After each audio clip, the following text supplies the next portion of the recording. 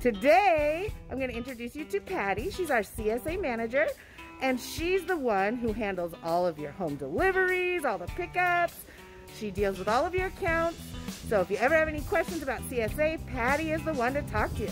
She is going to open up the box and tell us what's inside today. Hi, Patty. Hi there. Hi. Okay, so today we've got a CSA large box for this week, and I'm super excited to see what's inside and see what Joni Newman's going to make for us as a recipe creation with what's in here.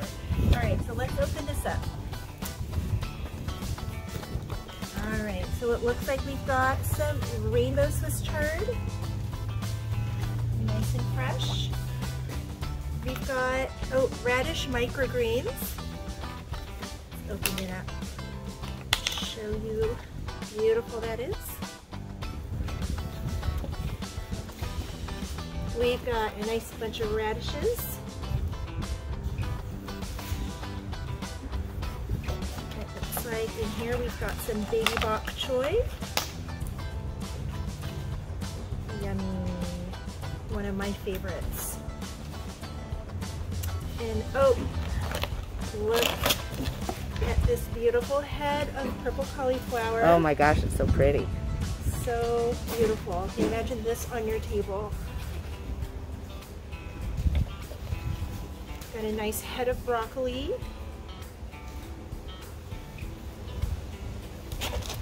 And some super healthy green spinach.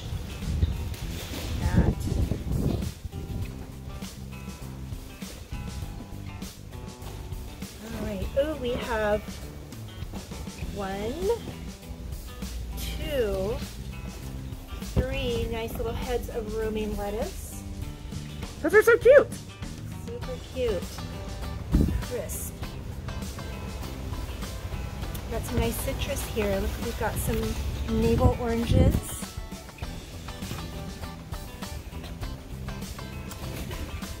Oh, that's a lot of them. That's a lot of oranges. See if they don't roll away. And we've got some, let's go with the citrus here, some lemons. Nice fresh lemons. Nice pesticide-free Fuji apples. Mmm. Crisp and sweet. So that is our CSA box for this week. We can't wait to see what Jody's going to make for us. And we also want to hear from you what you're going to do with your veggies this week. So let us know. Thanks, Patty. Up close and personal with some ingredients here. That spinach, radish. I believe these are radish microgreens. Baby bok choy. That gorgeous purple cauliflower. Rainbow Swiss chard. A nice head of broccoli. That beautiful hydroponically grown lettuce. Those lovely citrus fruits, the navel oranges and lemons, and Fuji apples. Stay tuned. I think I see some tacos in our future. I'm pretty excited about this box this week. Uh, as you saw Patty show you, there were some amazing veggies and fruits in this box. So I got inspired to make tacos. We're gonna make some veggie tacos with a apple and broccoli slaw in a citrus vinaigrette with the purple cauliflower as the meat of the tacos. So we're gonna start off by making the slaw. It's a very simple slaw. We're gonna let the veggies and the fruits do all the work. We're gonna start by using some of this uh, beautiful uh, rainbow Swiss chard, but we're only gonna use the stems for the slaw. So I'm gonna go ahead and cut off the little tips because they tend to get a little ugly. I do that with my celery or anything like that. I'm gonna throw those away. We'll put them in my garbage bowl for now, and then I can turn them into veggie stock later. So I'm just gonna use the stems. We're gonna use the greens later. So I'm gonna set these aside. And we're just gonna cut these into little strips, just like that, little sticks. If you don't want them that long, you can cut them in half too. It's kind of like a slaw. These are gonna add some crisp bite to that. I'm gonna throw that over to the side there. And we're just gonna make some beautiful, look how pretty that yellow color is. Isn't that gorgeous? If you've never used the stems of your rainbow chard before, know that they taste similar to celery, but they have a higher sodium content, so they're a lot saltier. So many people cut their leaves right off the stems and they throw away the stems and it breaks my heart because it's my favorite part of the chard. So definitely they're a good snack too. You can add it to your crudité platter. And a little bit more and I think we'll be good. I'm gonna go a little quicker here, but you get the idea, right? We're gonna cut them into little strips and add that to our slaw. Perfect. Save the rest for later. That's about all we need for this one. Set these off to the side. Now, we're gonna do something fun. We're not gonna actually use the broccoli flowers this time. We're going to use the stems. So we're gonna trim off the flowers and you can save those, the florets.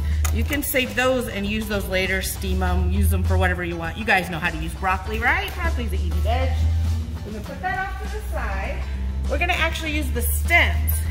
So this is a fun way to use up all of your veggies, not just the part we think we're supposed to eat. To make it easier, I'm gonna use a peeler. So I'm just gonna take my peeler and I'm just gonna cut little strips, just like that. This is also a great way to use um, broccoli stems in stir fries, salads, soups. We're just gonna shred it just like that. The peeler makes it super easy. Keep shredding that. It's a good way to use up stuff we would normally put in the garbage. So all the parts of broccoli are edible.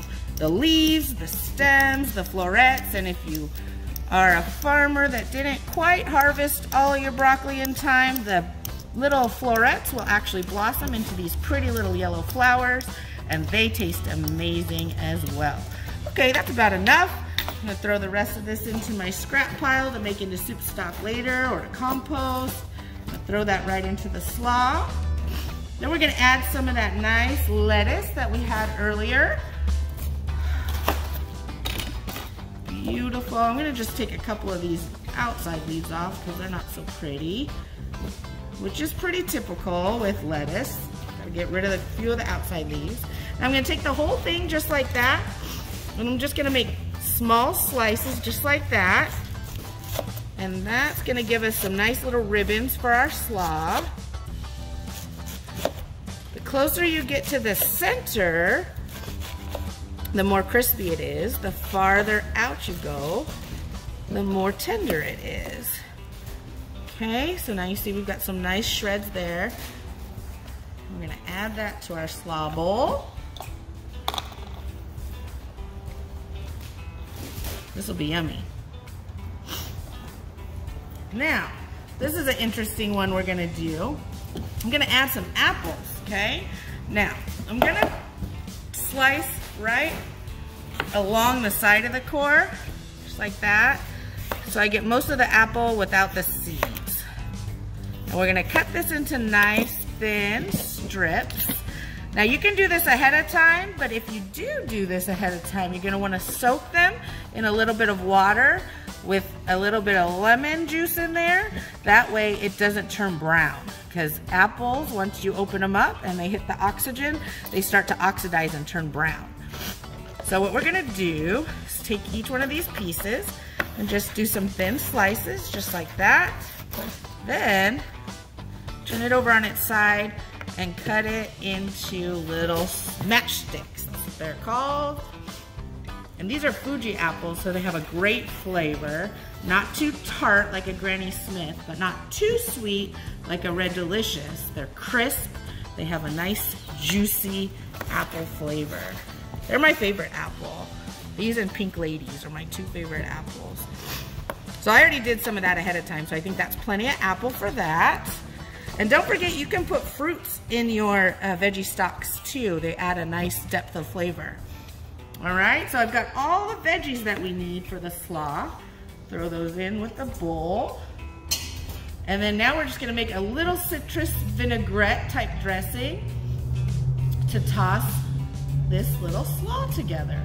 This will go on top of our tacos. So we're gonna start with one of those navel oranges. Gonna slice it in half. If you watched the last video, you saw one of my citrus tricks where before you cut it and juice it, you roll it on the counter so that you break up a lot of those cells on the inside and more juice will be able to come out of the fruits.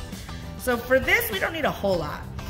So I'm gonna use uh, this one half of one orange and I'm gonna use my little reamer just to get as much juice out as possible.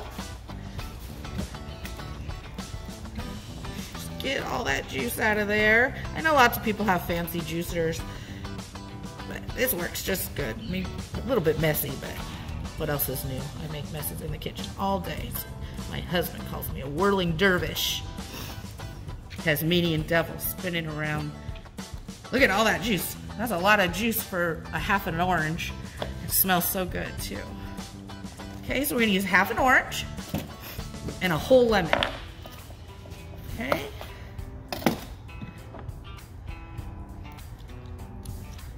Got juice in there. These are juicy lemons. These lemons are organic lemons from Tarsadia Farms in Riverside, and they're really sweet. I mean, they're still sour because they're lemons, but they have a, a, much sweeter, very lemony flavor. So if you're a baker and you like to make muffins or pies or cookies, these are great lemons for that. All right, so we got one whole lemon and half of one of those oranges. If you have a smaller orange in your box, you can go ahead and uh, use a whole orange. Now we're just gonna add a few things to that and then we'll dress that slop. We're gonna add about a quarter cup of oil. This is just vegetable oil. You can use olive oil if you want to, but I feel like that flavor is a little strong. We're gonna do just about a tablespoon of rice vinegar. Then we're gonna add in some seasoning. Do a little bit of garlic salt, so we have a little salt in there. Brand new one.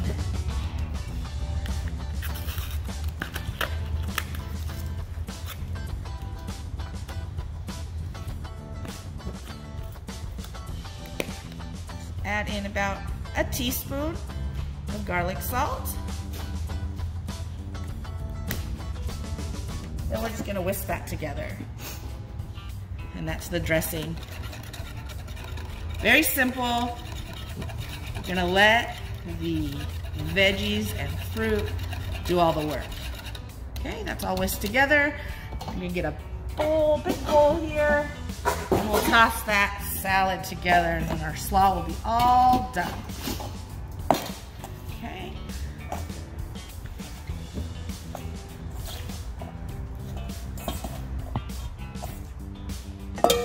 Perfect. Toss that all in there. Give it a good toss. And then we're gonna let this sit so all those flavors can marinate together while we're prepping everything else. Throw that in the fridge until you're ready to serve so it stays nice and crispy. And that's all set. See that we have that little slaw. I'm gonna love those little pieces of apple in there. It's gonna give it a nice crisp bite. Check out this beautiful head of purple cauliflower. So many things you can do with it. You can treat it just like regular cauliflower, steam it, roast it, uh, stir fry it, add it to any of your favorite recipes. But today we're gonna do something a little bit more unique with this. We're gonna turn it into quote unquote meat. So this is gonna be the meat of our taco. We're gonna cut it up into little tiny pieces and then we're gonna saute it with some spices. And here we go. First thing, we're gonna put our pan on a medium heat, like a medium high. Add a little oil to that. And then we're just gonna chop this bad boy up.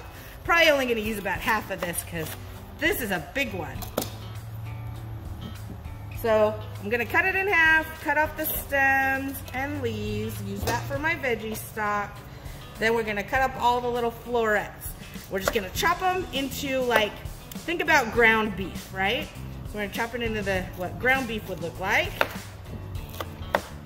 You don't have to be fancy, just chop it all up. So easy.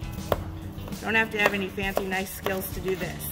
But I will tell you one trick when I'm chopping things is to keep your knife in connection with your cutting board. So your tip of your knife, keep it connected That way you have more control as you're chopping. And you don't need to have an expensive knife. You just need one that's sharp, that feels good in your hand, and that the blade goes all the way to the base of the. This is a bad example because this particular knife doesn't do that. But when you're buying a knife, if you go along the edge of the knife and you want to see that piece go all the way to the edge of your handle if you're buying a good knife. Um, you can get a good knife for 15 bucks at Smart and Final and that will be able to be sharpened and you'll be able to use it for years and years and years. You don't need to spend 300 or $400 on a fancy knife. Just need a good, solid knife. But this is what I had available, so this is what we're using today. It's nice and sharp though, that's for sure. So we just got it all chopped up, perfect. We're gonna take all that, we're gonna throw it into this nice hot pan.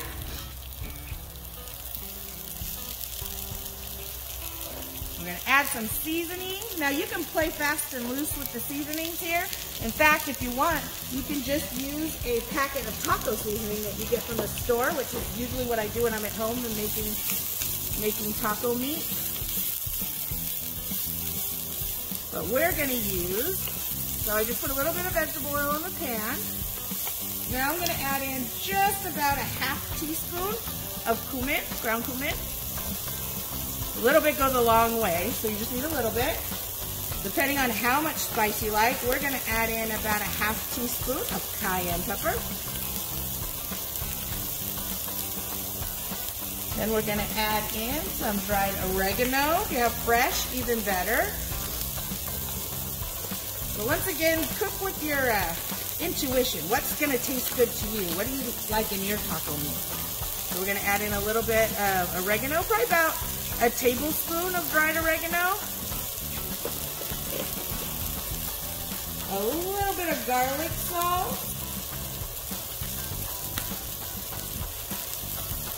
If you have fresh garlic, even better. And because I like it so much, I'm to put some of this chili oil in there. It's really spicy, so you just need a little tiny bit. Oh my goodness. There we go. Just a little bit.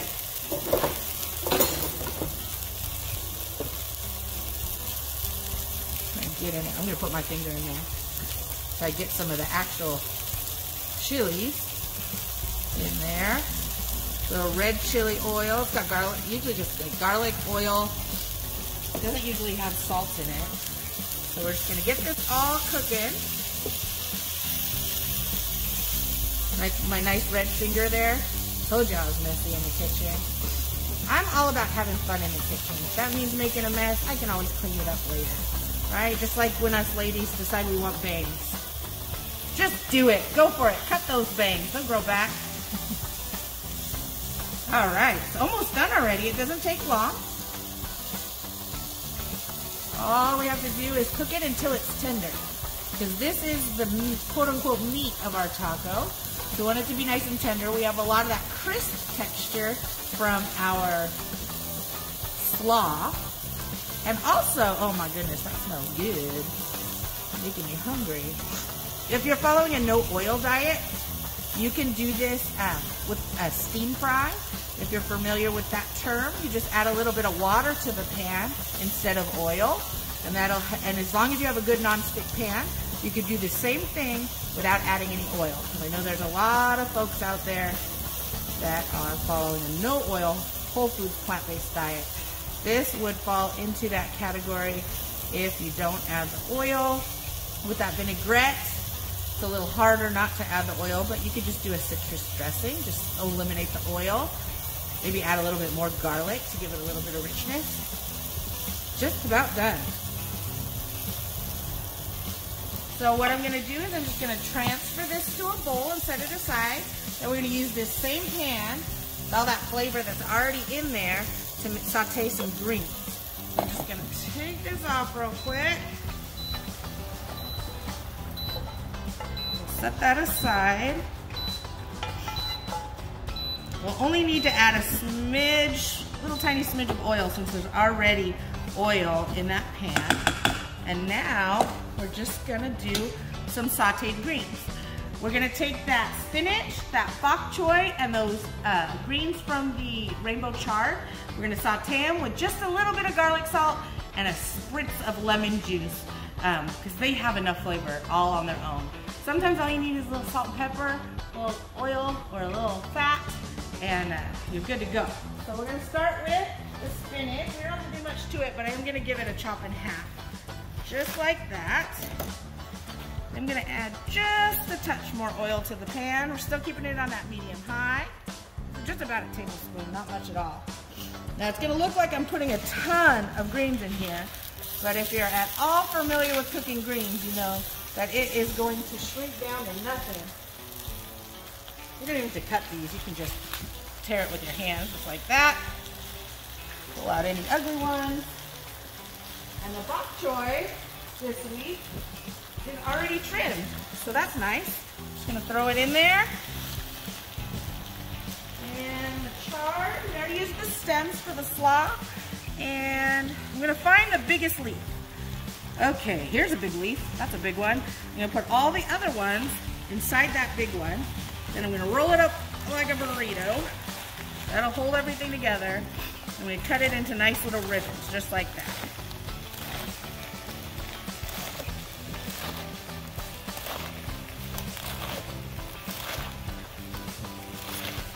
Perfect. Now look at this big full pan. In about minutes, it's gonna reduce down a lot. This green reduced way down. So I'm gonna let them reduce down a little bit before I add any seasoning. If you have a wok, a wok is a perfect, I need to get myself a wok that works with induction so I can use that for you guys next time. Or a big pot, that works too. Just give it a few seconds, turn it a few times so the heat can get up to the top. You'll see the bottom ones are already wilted. You can also put a lid on it for a few seconds and it'll steam itself, which I can do with bowls, just like that. If you don't have a lid, you can do it that way. Have you ever seen the movie Chef? If you haven't seen the movie Chef, watch the movie Chef and watch the scene with the grilled cheese sandwich and how steamy and beautiful it is. Believe, if I'm not mistaken, he uses the bowl steam method as well. All right. Give it a nice flip. I'm gonna use another spoon here so I can really get in there and flip it over. If you have some tongs, that works too. Get in there, flip it over. Might have been a little bit uh, ambitious with the amount of greens I put in this little pan. That's okay, you'll see. They're gonna shrink down. There's gonna be barely anything in there. I saw a meme yesterday that was cracking me up. It was the like one quarter cup of greens and it said this is 45 bags of spinach. And I was cracking up because that is so true. Greens cook down. So did you guys make making a mess here? Greens um, for New Year's? I did. I made I made uh, broccoli greens for New Year's this year. A lot of people do collard greens, but just about any green is perfect. You just saute it up, a little garlic, a little oil, a little salt and pepper, you're good to go. I always like to add a little bit of lemon juice at the very end. See, now you see it's coming down. Starting to get really wilted.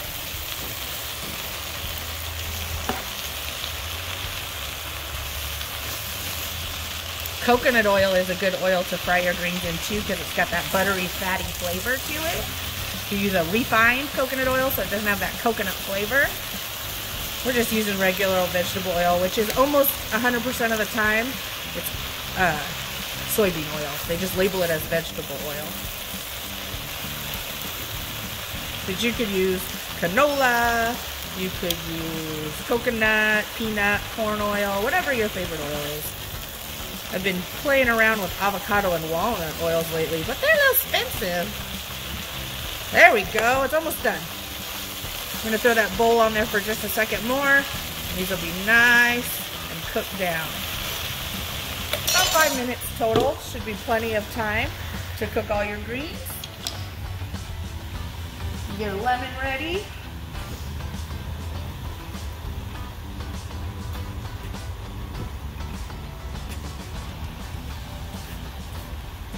These are so juicy. You can look at that.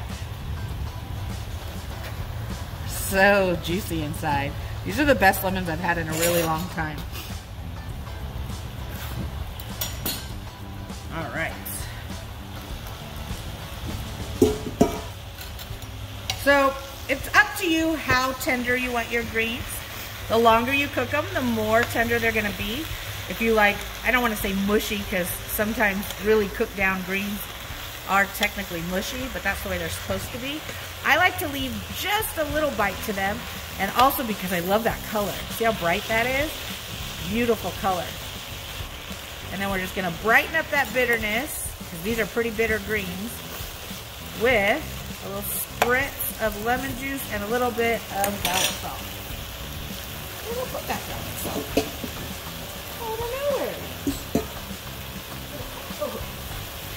Just gonna sprinkle on, you know, this garlic salt, Lawry's garlic salt with the parsley in it is like a secret ingredient here at the farm. If you ever come to any of our cookouts, we have two secret ingredients. This is one of them, and the other one is our smokehouse maple that we use on our chicken. So those are both really easy ingredients to find because we like to savor the flavor of the veggies instead of all this other stuff. Keep it nice and simple.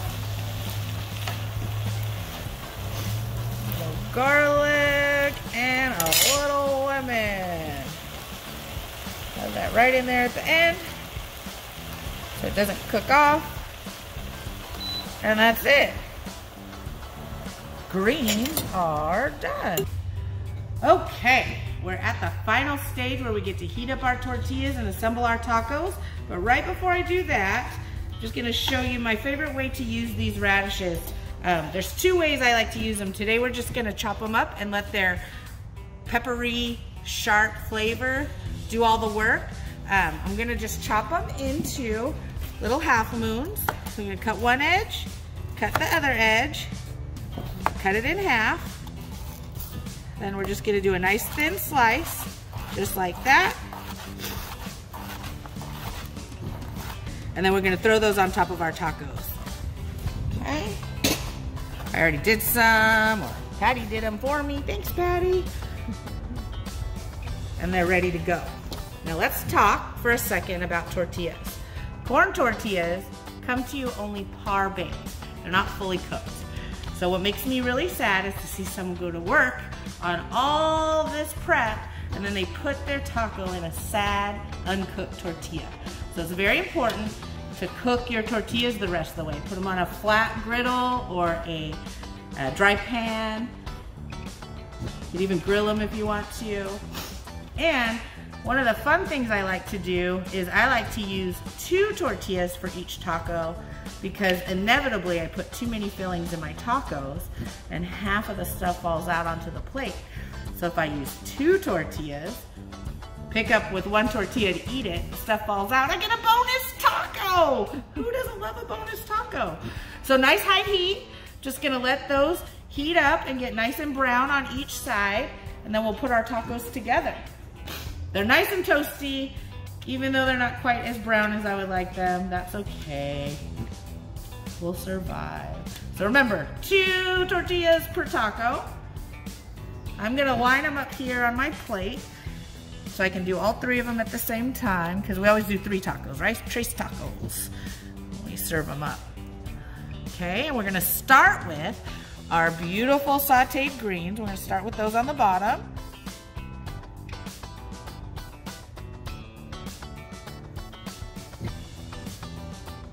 These are healthy tacos too. All these greens with all that iron in there. Delicious. So we've got the greens. Now we're gonna add in our taco meat that we made out of cauliflower. How do you guys say it? You say cauliflower? You say cauliflower? I don't know why I say cauliflower. All right, there's the meat.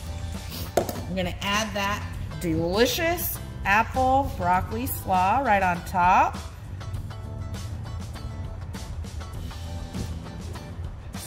That. Make sure we got apples in all there.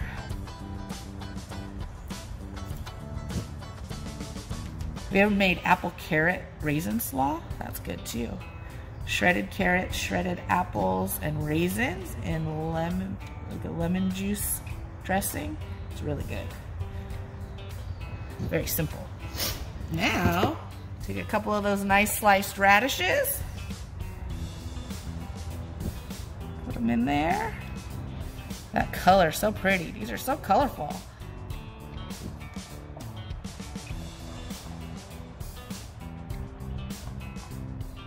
Okay. Now, sprinkle on top some of those lovely radish microgreens. Aren't we fancy? Doesn't that make it just look fancy just by putting it on there? And normally I would say serve your tacos with a wedge of lime, but since we have these delicious lemons, each taco is gonna get its own wedge of lemon, just like that. There's our tacos.